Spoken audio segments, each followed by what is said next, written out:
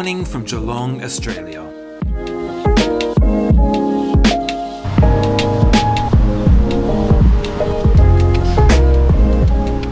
We start our journey today at Geelong Station. Built in 1856, the station is listed on the Victorian Heritage Register and the National Trust of Australia. Today we are riding on board a V/Line VLocity train built by Bombardier Transportation.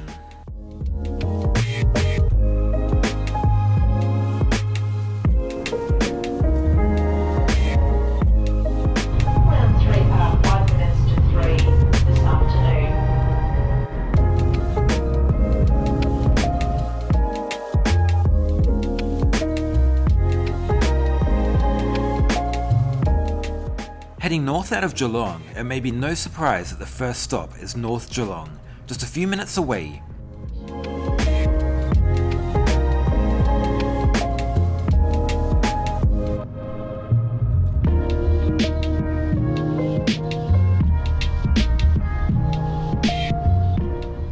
After North Geelong, we head past the port to North Shore, an industrial and residential suburb of Geelong.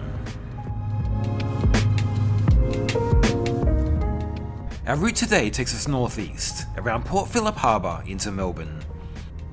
Services on the Geelong line run every 6 minutes at peak time to a 20 minute frequency during non peak. The journey costs $13.80 and takes just over one hour. Tickets for this journey are made using Melbourne's Myki card.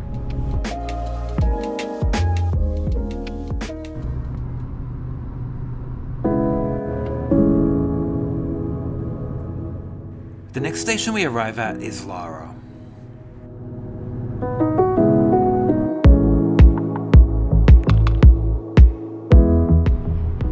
The seating is in a standard 2-2 configuration. It features an armrest and is well padded. There's also ample legroom.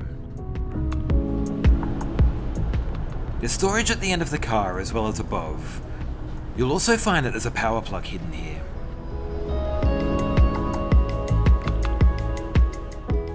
There's a cold water fountain at the end of the car, as well as space for a couple of wheelchairs.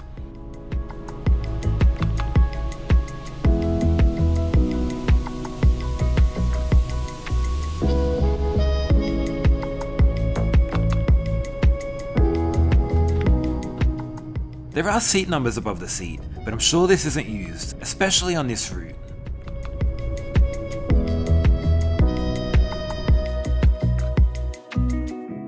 Next up is Wyndham Vale, our first station in Western Melbourne.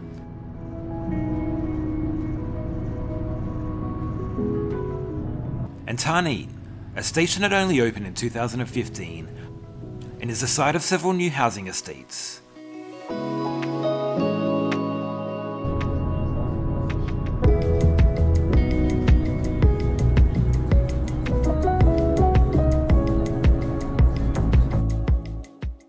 Then we head to Deer Park and Sunshine, where we meet with the Metro line.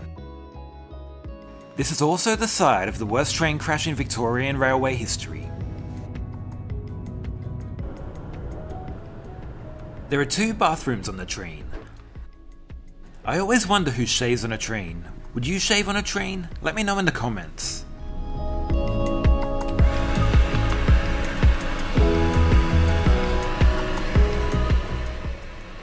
Both bathrooms are clean with everything in working order.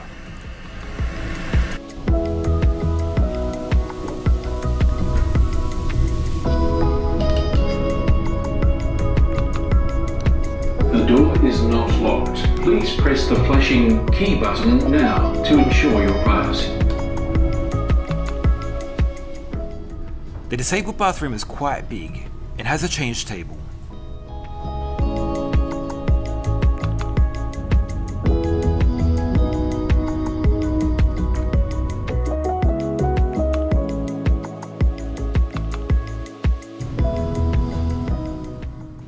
Before we know it, we're at our second last station, Footscray.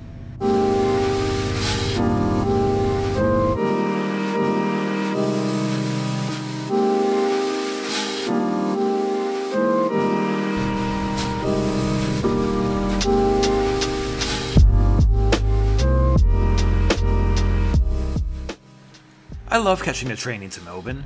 You get an amazing view of the city as you head into Southern Cross Station.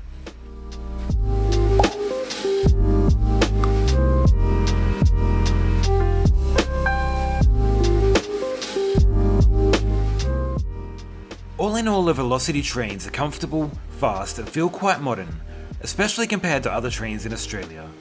It makes heading out of the city an enjoyable experience.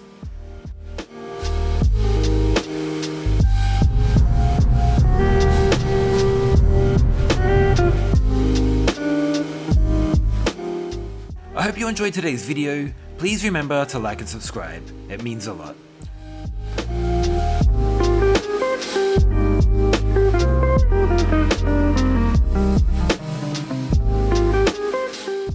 Thanks for watching.